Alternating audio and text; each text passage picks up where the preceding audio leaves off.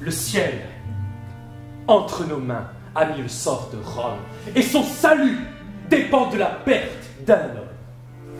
Si l'on doit le nom d'homme à qui n'a rien d'humain, à ce tigre altéré de tout le sang romain, Pour qu'il venge son père.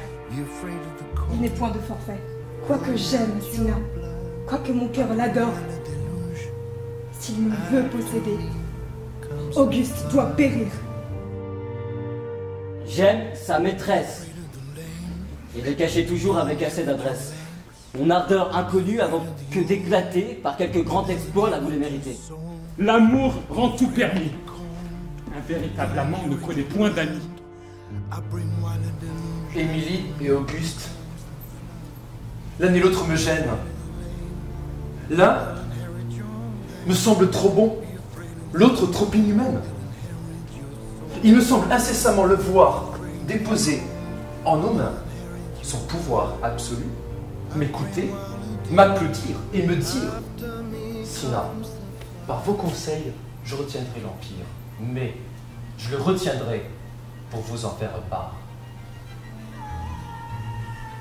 Et je puis, dans son sein, enfoncer un poignard. Et car les plus ingrats sont les plus généreux. Faites des vertus auprès de votre haine L'homme a fait des vertus dignes d'une romaine? Un cœur vraiment On romain veut tout pour ravir une odieuse vie à qui le fait servir Eh bien, vous le voulez. Il faut vous satisfaire.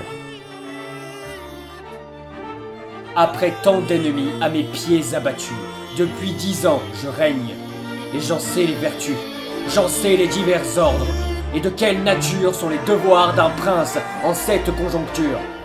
Tout son peuple est blessé par un tel attentat, et la seule pensée est un crime d'État, une offense qu'on fait à toute la province, dont il faut qu'il la venge, ou cesse d'être prince.